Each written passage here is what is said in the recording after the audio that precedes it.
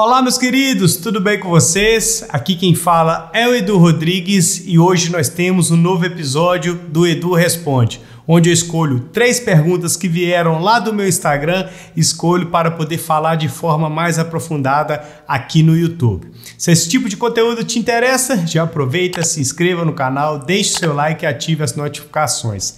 É uma forma do YouTube entender que é um conteúdo de relevância e dessa maneira leva para mais pessoas. Sem mais delongas, vamos para o vídeo.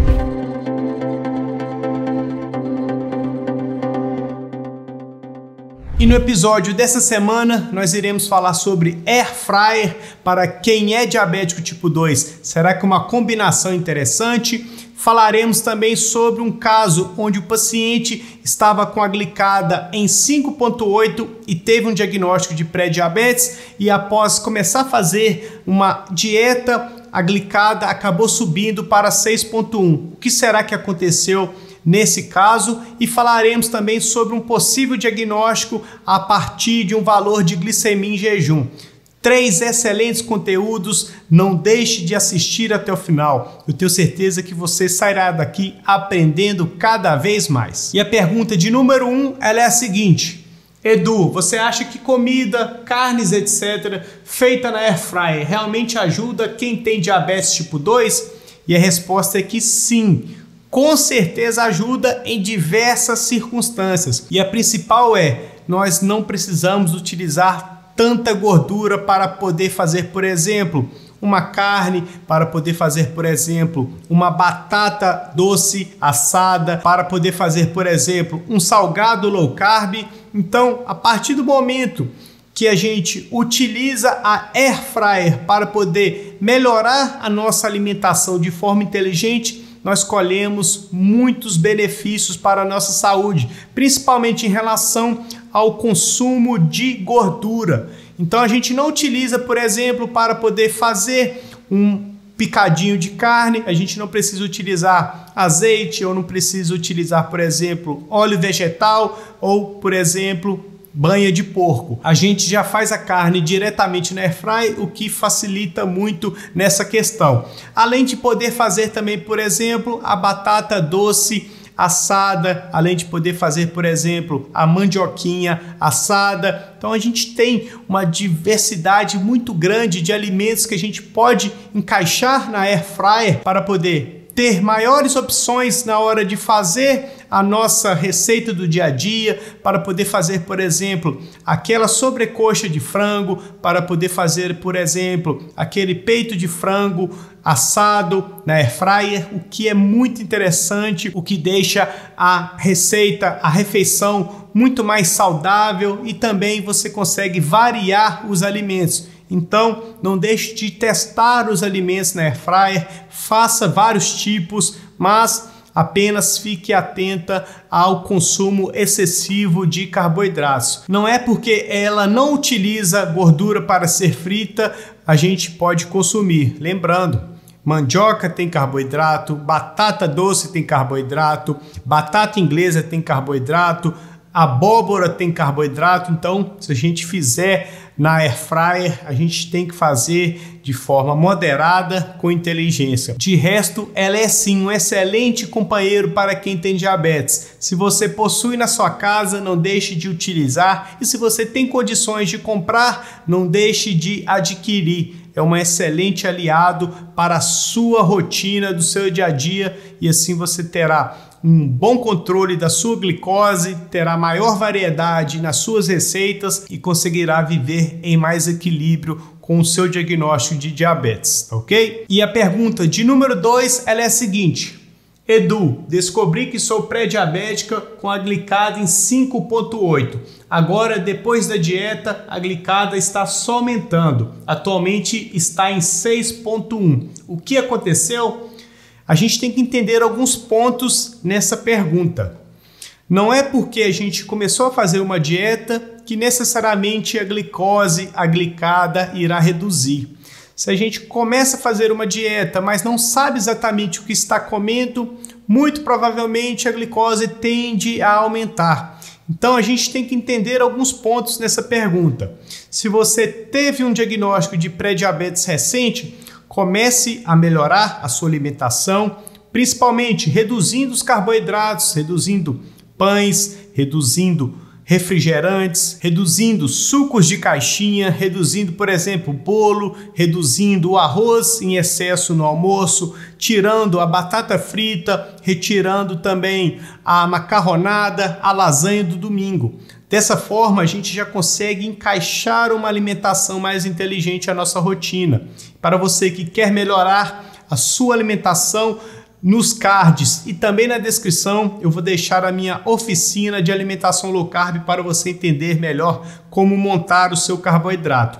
Mas seguindo essa pergunta, a gente tem que entender esses pontos. A glicemia, a glicada, ela não irá reduzir da noite para o dia. Isso leva tempo, leva rotina, leva constância. Então, não é porque ela aumentou de 5.8 para 6.1 que está tudo errado o ideal é que você foque em melhorar a sua alimentação, continuar uma dieta mais low carb, fazendo exclusões da sua rotina de alimentação, como eu mencionei inicialmente. Encaixe a prática de atividade física, então pratique alguma atividade física com constância nem que seja uma caminhada, uma bike, uma corrida, uma musculação ou uma hidroginástica. É fundamental que você pratique de 3 a 5 vezes por semana e que você continue nos hábitos de vida mais equilibrado. Continue se cuidando, continue indo ao médico, continue fazendo vista grossa diante da sua alimentação,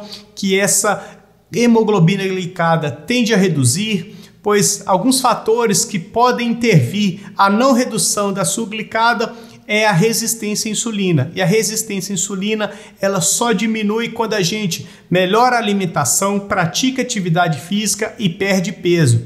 Então, se você precisa perder peso também, Continue melhorando a sua alimentação, encaixe atividade física, perca peso, diminua a resistência à insulina e essa hemoglobina glicada tende a reduzir e posteriormente você possa conduzir a sua glicemia, a sua glicada somente com a prática de bons hábitos.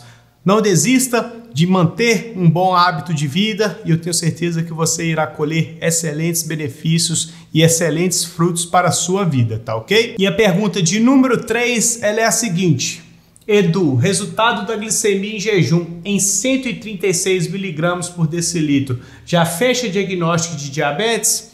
E resposta aqui, não. A gente precisa fazer algumas avaliações a mais para poder determinar um diagnóstico de pré-diabetes, diabetes tipo 2, diabetes tipo 1, diabetes tipo LADA, diabetes gestacional. Então, a gente tem que entender um ponto principal. Somente um médico irá te fornecer esse diagnóstico. Se você fez esse exame por conta própria, não deixe de pegar esse exame, leve a um médico endocrinologista para que ele possa fazer uma série de avaliações para determinar um possível diagnóstico. Não tire conclusões precipitadas, pois uma glicemia isolada em 136 pode não ser um diagnóstico de pré-diabetes ou diabetes, mas pode ser sim um indício de que algo está errado. Então, por isso que é fundamental que você procure um médico para que ele possa fazer outros exames, como por exemplo de hemoglobina glicada, como por exemplo de glicemia pós-prandial, como também, por exemplo, teste oral de tolerância à glicose, para que ele possa avaliar de forma mais completa, mais aprofundada e que possa te deixar a par da situação de como você se encontra, para dessa forma conseguir tratar o seu possível diagnóstico ou não de forma mais exata, com maior exatidão e assim você possa alcançar bons resultados e reduzir a sua glicemia reduzir a sua glicada caso ela esteja alterada e assim viver em equilíbrio. Não deixe para depois, não deixe para procurar o seu médico depois, procure agora, mas comece as mudanças nos seus hábitos de vida a partir de agora. Mantenha uma boa alimentação, pratique atividade física, perca peso se necessário e vá ao médico para poder conseguir ter um maior acompanhamento e assim viver livre de qualquer possível complicação que tenha relação com um diagnóstico de diabetes que não seja bem controlado, tá ok? E essas foram as três perguntas que eu escolhi a dedo para poder falar de forma mais aprofundada no vídeo de hoje. Se você está assistindo até agora, não deixe de se inscrever no canal, de deixar o seu joinha, de compartilhar esse vídeo lá no WhatsApp, no Facebook, no Instagram, para dessa forma nós conseguirmos jogar informação cada vez mais a todos os pacientes que precisam melhorar o parâmetro do tratamento e, consequentemente, viver livre de complicações. Se você tem alguma dúvida, não deixe de mandar aqui nos comentários para que eu possa responder e, quem sabe, a sua dúvida possa virar o tema de algum vídeo aqui no canal Edu Diabetes. Tá ok? Então, nós iremos ficar por aqui. Fiquem todos com Deus e até mais.